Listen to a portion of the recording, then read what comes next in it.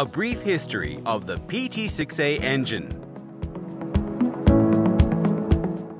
The PT-6A is the most popular engine in its class and is trusted in cargo, transportation, agriculture, and many other industries.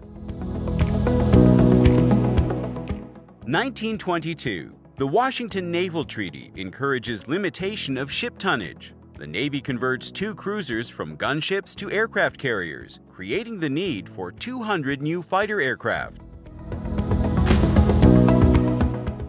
1925.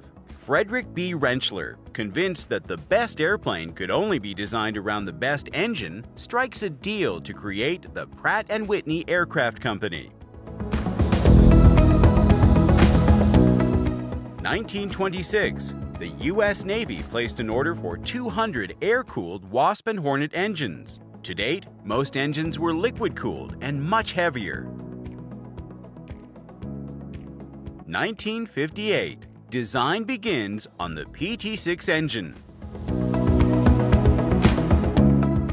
1961, the first flight of a PT-6 engine was on May 30, 1961. 1964, the Model 90 Air King fitted with a PT-6A flies for the first time.